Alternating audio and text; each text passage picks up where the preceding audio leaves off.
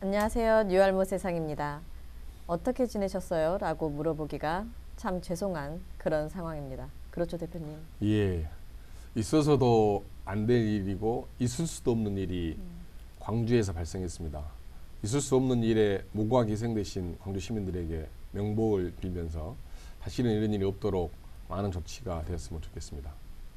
네. 아, 근데 희생자분들이나 또 다치신 분들이 광주가 워낙 좁다 보니까 뭐 10대 그리고 뭐 30대 나이대도 이제 또 이제 어머니 아버지들 나이대까지 있으시다 보니까 광주 분들이 어떻게든 다 관련이 있으신 것 같더라고요. 그렇죠. 네. 그래서 광주 시민 전체가 굉장한 슬픔에 빠져 있고 또 무기력에 빠져 있는 것 같습니다. 또 어떻게 보면 창피하고 부끄러울 일이 광주에 생겼기 때문에 너무나 큰 아픔을 지금 안고 계시는데 이게 바로 내 일이고 내 주변의 일이고 가족의 문제. 네. 나도 언젠가는 생길 수 있고 내 가족이 생길 수 있는 문제인데 이런 것을 너무 안일하게 준비했던 우리 주변들이 너무나 아프게 해서 많은 상품이 상처가 있는 것 같습니다. 네, 맞습니다. 근데 수사가 이제 네. 계속되고 있는데 수사가 계속되면서 철거 과정도 부실이고 예. 또 재개발 조합 추진 과정인가? 그것도 말들이 많더라고요. 뭐 이제 여러 가지 이야기가 또 이제 뭐 유언비어인지 아니지 아닌지는 모르지만 그런 이야기도 나오고 그래서 오늘은 광주 곳곳에서 진행 중인 재개발, 재건축 관련 궁금증들을 알아볼까 합니다. 예. 먼저 하는 것은 비슷해 보이는데 이름들이 각기 다르더라고요. 예. 뭐 주택 재건축 사업, 주택 재개발 사업, 도시 환경 정비 사업, 주거 환경 개선 사업 이게 네 개가 뭐가 다 다르죠? 복잡하긴 합니다만 네, 그냥 문자 그대로 개념만 좀 보자면 재개발, 주택 재개발, 주택 재건축 어떤 게 더 규모가 크게 보인가요? 재개발 재건축이요. 예. 재를 일단 빼면 개발 건축이니까 개발이 더 큰 것 같은데요. 그렇죠. 그러니까 재개발은 전체 좀 규모가 좀 큰 것 같은 느낌이고 어, 재건축은 좀 더 건축 분야만 이렇게 한정되는 것 같은 개념인데 네, 재개발은 예를 들자면 이렇게 큰 부지가 있다고 하면 여기에 뭐 도시가스나 뭐 상수도 이런 부분이 있다고 하면 이런 걸 토탈해서 도시공원 포함해서 학교나 토탈 포함해서 한꺼번에 다 하는 것이 재개발이고 이런 걸 놔두고 뭐 상수도나 도시가스나 상하수 등 도시가스 이런 것을 빼고 건축 관련된 부분만 한다고 하면 이것이 재건축이겠죠. 그러니까 좀 더 큰 의미의 개념과 좀 더 작은 의미의 개념인데 이게 공존합니다. 예를 들자면 아파트 중심으로 어, 크게 아파트가 기존 아파트가 있는데 노후됐다 네, 하면 네. 이걸 다시 재건축하는 것이죠. 그런데 어, 옛날 단독주택으로 오래된 건물이 있다, 네. 건축물이 있다, 네. 단독주택으로 이렇게 네. 한건 재개, 재개발이 되겠죠. 아, 약간 약간, 약간 이렇게. 이렇게 이렇게 네. 예. 그러면 예. 이제 도시 환경 정비 사업하고 예. 주거 환경 개선 사업은 뭐가 달라요? 도시 환경 정비 사업은 어느 지역을 어, 상업화 지역으로 만들겠다. 어, 예를 들면 신도시가 들어오면 신도시의 네. 뭐 개념으로 어, 상업과 공업 지역으로 뭘 만들겠다고 하는 것이 도시 환경 정비 사업이고 주기 환경 개선 사업은 음, 불, 오래된 노후 건축물 또는 어, 재개발하기 위해서는 대략 그 거주민들의 70% 정도가 동의가 돼야 되는데 50%밖에 안 됐다. 이런 경우에는 주거 환경 개선 사업을 하는 것이죠. 다시 말해서 평평하게 뭐 이렇게 해서 뭐 상하수도 깔고 이렇게 하면은 재개발이고요. 그렇지요. 그리고 뭐 그렇게 하면서 뭐 공원도 만들고 공공 시설도 만들고 이렇게 하는 게 그렇습니다. 재개발이고 예, 예. 재건축은 일단 사는 그 노후한 거주 공간을 허물고 다시 짓고 이제 거주 공간에 초점을 맞춘 게 이제 재건축인 거죠. 예. 진짜 재개발이 훨씬 더 큰 의미이긴 그렇습니다. 하네요. 그러니까 재개발은 또 규모가 크니까 공공사업 쪽의 성격이 좀 더 강한 것 같고 아, 재건축은 민간 성격이 강한 그러니까 주거자들의 건축 사업이기 때문에 민간 사업이 좀 강한 성격을 갖는 것이라고 좀 구분 지으면 될 것 같습니다. 근데 얼마 전에 기사를 보니까 현재 예. 광주에서 재개발, 재건축하고 있는 곳이 지금 46곳이더라고요. 음, 예. 생각보다 상당히 많아요. 그러니까요. 이게 굉장히 심각하게 재개발과 재건축이 되고 있는데 46곳인데 그중에 재개발 지역이 세, 33곳이에요. 재건축 오. 지역이 아홉 곳이고 광주 전체 도시가 어, 재개발과 재건축에 몸살을 앓고 있다고 해도 과언이 아니겠죠. 눈만 뜨고. 일어나면 큰 아파트 하나가 생겨가지고 시야도 가리고 바람도 안 통하고 있는 도시가 되고 있지 않습니까? 별로 싫어요. 사실 예. 개인적으로는 그렇게 자꾸 아파트가 들어서는 게 저는 예. 싫긴 한데 어쨌든 진짜 굉장히 46곳이면 도대체 재개발 안 하는 곳이 있나 싶을 정도로 그런 생각이 드는데 근데 이번 학동 참사를 보면서 재개발 과정이 다 이런 건가 싶을 정도로 좀 불합리한 일들이 음, 많이 벌어지더라고요. 그렇죠. 우리가 재개발 재건축 사업이 전국적으로 다 이런다고 하면 얼마나 슬픈 일이겠습니까? 그쵸. 그러진 않겠죠. 네. 그런데 그 중에 일부 일부가 이런 문제를 일으키는데 이게 종합적인 행정과 건설 현장의 총체적인 부실 아, 그리고 안전 불감증 그리고 이래도 괜찮겠지 하고 하는 음. 졸속 행정과 수익만을 쫓는 재개발 사업에 치중되다 보니까 이게 어, 생길 수밖에 없는 구조이겠지만 이런 구조를 잡기 위해서 여러 가지 이제 조치도 했고 또 이번 사고가 2019년도에 있었던 서울의 잠원동 사건과 똑같은 케이스예요. 거기도 5층 건물 철거하는 과정에 한 분이 돌아가시고 세 분이 부상을 당했는데 지난해 생겼던 지난번에 생겼던 동구에 4월달에 똑같은 또 이런 비슷한 문제가 생겼는데 이것을 간과하고 넘어간 그 안전 불감증이 또 심각하게 있는 이런 것이 저는 구조적인 문제가 아닌가. 근데 안전적인 문제도 예. 안전의 문제지만 그 사실은 예전부터 이렇게 조합장이나 재개발하고 이러면 조금 돈을 좀 만진다거나 이런 이야기들이 있었거든요. 예. 근데 그래서 이참에 왜 재개발 과정에서 이렇게 불법과 비리가 비일비재하게 일어나게 되는지 오늘 좀 알려주셨으면 좋겠어요. 방금 말씀드렸던 것처럼 모든 아파트 현장이 그렇게 되지 않는다고 저는 전제합니다. 그런데 네. 발생한 사건에 대해서 여러 가지를 이제 추후에 따져 보면 아파트가 지금 들어오는 추세가 보통 2천 세대를 넘어갑니다. 네. 그리고 3천 세대 가까워지는데 평당 분양 금액이 적게는 천만 원, 많게는 1,800, 900까지 올라간단 말입니다. 네. 평당. 그러면 보통 3천 세대, 4천, 3천 세대를 한다고 했을 때, 2,500세대 한다고 했을 때 34평 곱하기 또는 20평 곱하기 8 천만 원, 1,900만 원 하면 어마어마한 아무리 적어도 뭐 5억, 10억 이런 되는 오. 규모가 한 아파트 한 채당 네, 하는 것이기 네. 때문에 우리가 상상할 수 없는 수조 원의 돈이 왔다 갔다 하다 보니까 거기에는 얼마나 많은 이해관계가 있겠습니까? 음. 쉽게는 도로를 내는 것부터 시작해서 철거하는 것부터 시작해서 아파트 벽에 페인트 칠하는 것부터 시작해서 또는 뭐 샤시부터 하는 시작, 하는 것부터 시작해서 수많은 뭐 건설의 종합적인 것이 있기 때문에 거기에는 당연히 돈이 왔다 갔다 하는 것이죠. 그러다 보니까 음. 돈이 왔다 갔다 하면 뭐가 생기겠습니까? 검은 커넥션, 네. 검은 의혹의 눈길들이 갈 수밖에 없는데 그런 과정에 좀 더 나하고 친한 그리고 좀 더 나보고 나에게 더 많이 이익금을 챙, 아, 이익금이 아니라 이걸 챙겨줄 백마진. 예, 백마진을 챙길 사람을 찾다 보니까 생기는 문제이고 이것은 당연히 공사 부실로 나타나는 것이고 그 공사 부실은 당연히 나에게 오는 어, 분양가가 높아지는 것이고 되게 보면 어, 그렇지 않은 것도 많은데요. 네. 되게 보면 교도소를 갑니다. 무슨 제명으로 간지 가- 아세요? 어, 공사 현장이면 막 그런 거 아니에요? 막 강제 철거하면서 막 폭력 이런 거 TV에서 봤는데 뭐 상해, 음. 훼손 뭐 이런 거. 뭐 그런 것이 포함된 뇌물죄.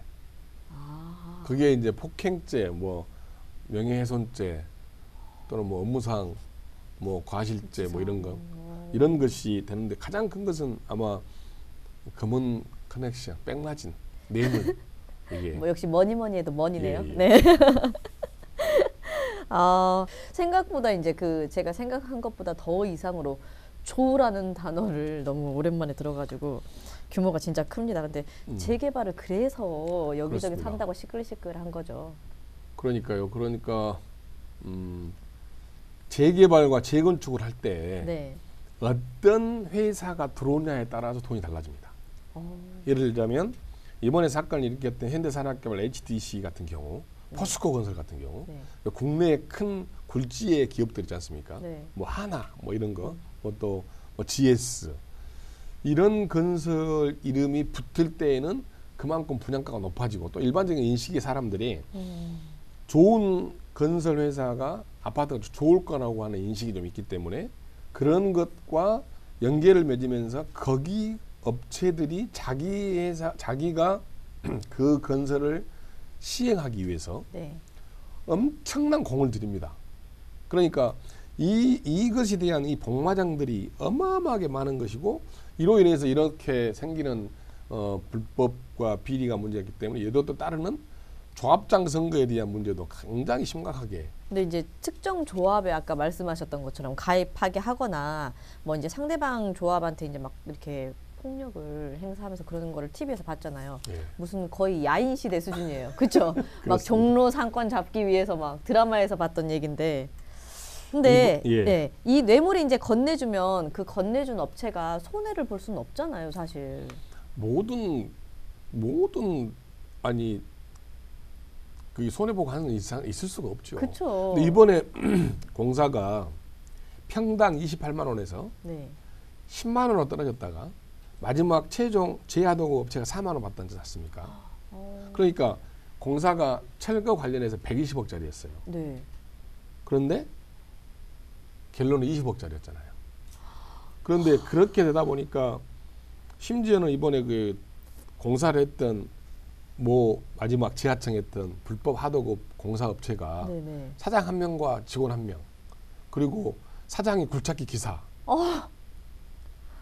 이런 문제 아니 심각한 문제 아닙니까? 아, 다른 광주의 재개발 재건축도 그럴까봐 좀 이제 걱정이 되네요. 사실 이제 그 외에도 지금 여섯 곳의 위험 요인이 또 발견돼서 공사 중지 명령이 내려졌다고 하던데요.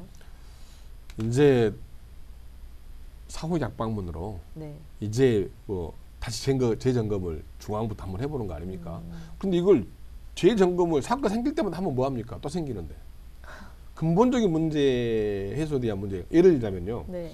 외국의 호주의 사례를 하나 들어볼게요. 네. 호주는 자그마한 농장에서 자기 집에 쬐끄마한 이 헛간을 이렇게 철거하더라도 네. 한 시간 동안 의무적으로 의무교육 안전교육을 받습니다. 오. 그런데 그 안전교육을 받아도 인건비에 포함됩니다. 그리고 나서 해체 작업을 합니다. 예를 들자면 이번에도요. 건축물 해체 계획서에 측정자 명의 이름이 누군지 아세요? 홍길동이에요. 에? 홍길동. 진짜 홍길동일까요? 아니죠.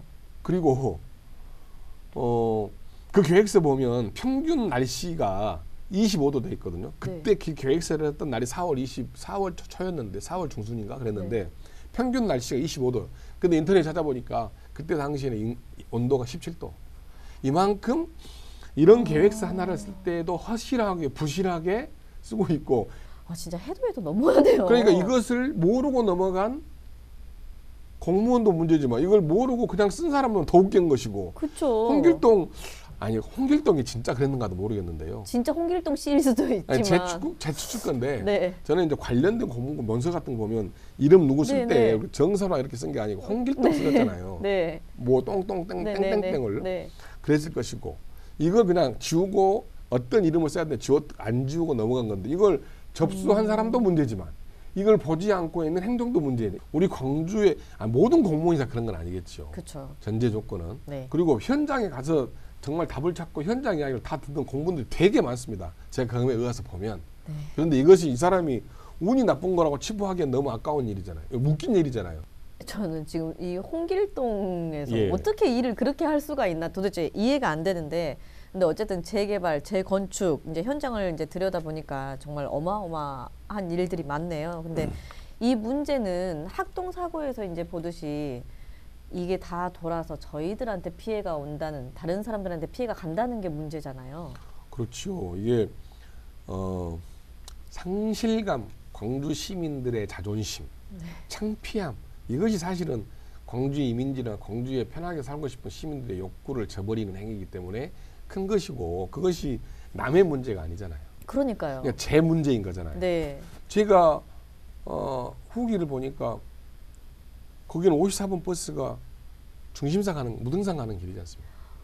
언제든지 저에게 생길 수 있는 맞습니다. 바로 내 가족이 생길 수 있는 이런 문제이기 때문에 더 안타깝고 심각한 문제가 아니겠습니까?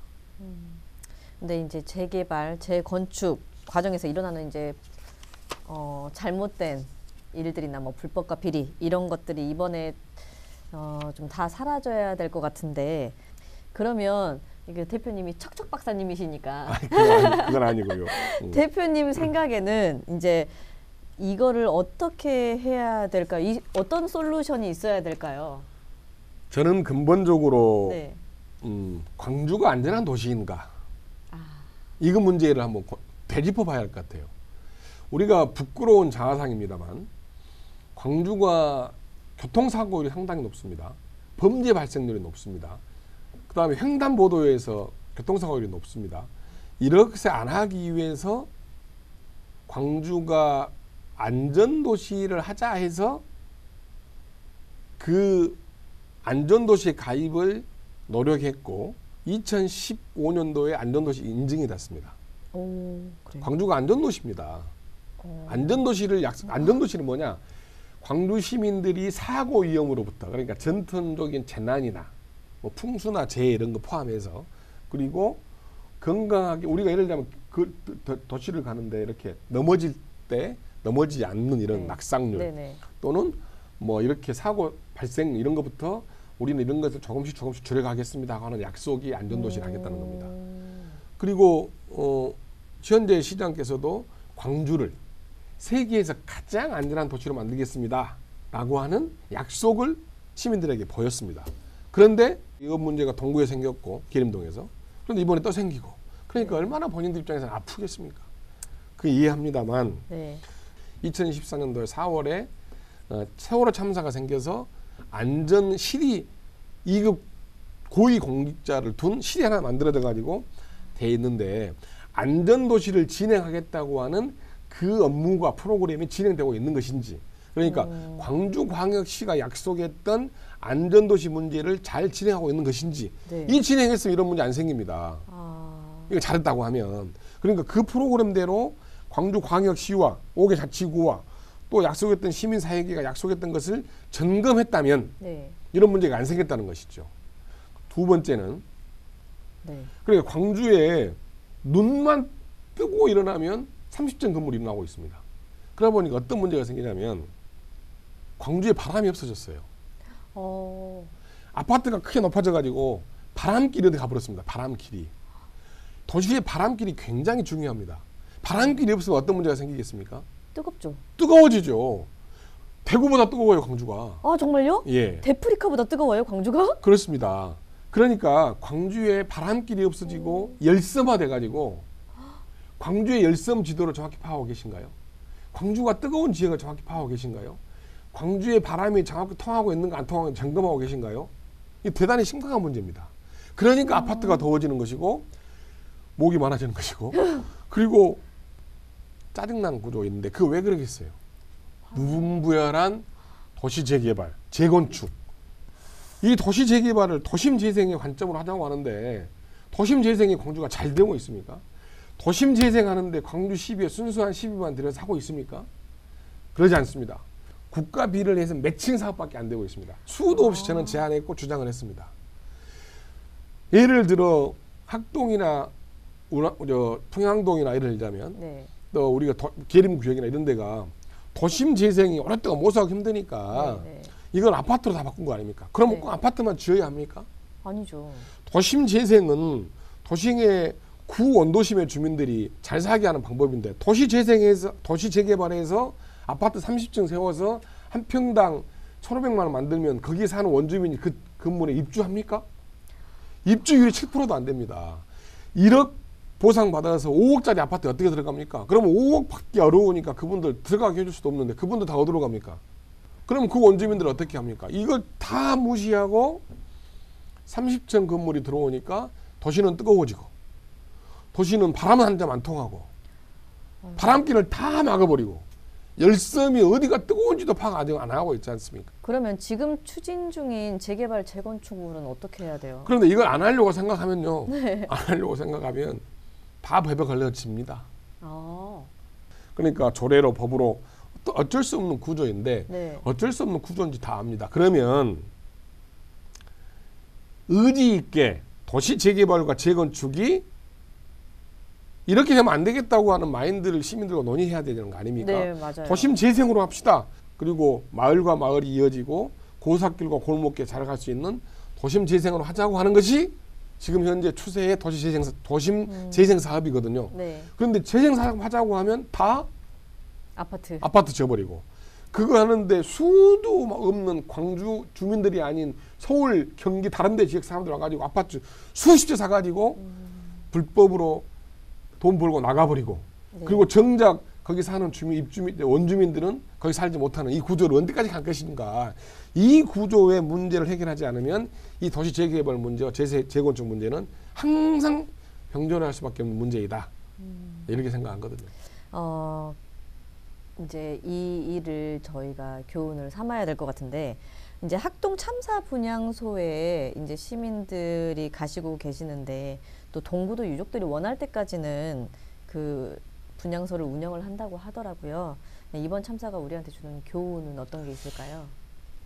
어, 근본적으로 우리가 고민해야 할 문제는 광주가 일단 안전한 도시인지 네. 그리고 그 점검을 다시 한번 해야 되는 것인지 두 번째 도시 재개발과 재건축이 이대로 되는 것이 향후의 광주의 미래를 봐서 맞는 것인지 이 근본적인 고민이 돼야 한다고 생각을 하고요. 세 번째는 어, 시민들조차도 우리도 안전 의식을 좀 가져야 되고 그 안전 불감증에 대한 재고민이 좀 필요할 것 같다. 그리고 무언이 뭐니 해도 답은 현장에 있는 것 아니겠습니까? 이런 네, 문제가. 생겼을 때 현장을 가서 적극적으로 대처하려고 하는 공적 마인드를 가진 공무원들의 자세. 그 다음에 근본적으로 어, 수원대도 이야기 들었습니다만 호주의 예를 들었습니다만 네. 안전 교육을 의무화하고 그렇게 되지 않으면 공사를 할 수 없는 구조를 만드는 것이 저는 굉장히 중요하다. 물론 세계적으로 한국이 건물 빨리빨리 지어서 좋은 것도 있긴 하겠지만 네. 거기에는 반드시 가미돼야 할 것이 안전 교육과 안전 사고를 예방하게 하여 철저한 어, 교육과 대책이 필요하다 이렇게 생각합니다. 네, 다들 들으셨죠? 네, 현장에 계신 분들 그리고 꼭 홍길동이라고 쓰신 거를 확인을 하셨으면 좋겠습니다. 어, 오늘은 이 어처구니 없는 학동 참사에 대해서 이제 여러 가지 이야기를 해봤습니다. 희생당하신 모든 분들 진심으로 명복을 빌겠습니다. 그리고 유가족분들과 피해를 당하신 모든 분들을 우리 광주 시민들이 또 한번 보듬고 또 위로해드려야 하지 않을까 생각을 하면서 아, 이 일은 저희가 반면교사 삼아서 다시는 이런 일이 없도록 법과 제도 마련되고 지금 있는 법 잘 지켰으면 좋겠습니다. 그 어떤 걸로도 위로가 되지 못하겠지만 다시 한번 고인들의 명복을 빌겠습니다. 오늘의 뉴알모 세상은 여기서 마치겠습니다. 저희는 다음에 또 찾아뵙겠습니다. 감사합니다. 어, 여러분 지금 혹시 보고 계신 분 있으신가요? 뉴알모 세상 보시면서 궁금하거나 아니면 또 제보하고 싶은 거 있으시거나 아니면 너튜브 보면서 그냥 좋아요만 눌러주시는 분들도 계시는데요. 어, 그분들 본인 흔적만 남겨주시면 저희가 추적을 할 수가 없어요. 흔적만 남겨주시면 저희가 꿀피부 되시라고 김문영 피부관리실 피부 무료 이용권 드리겠습니다, 여러분. 지금 여름이 왔으니까요. 피부 관리도 하셔야죠. 일석이조입니다. 저희는 다음에 또 찾아뵙겠습니다.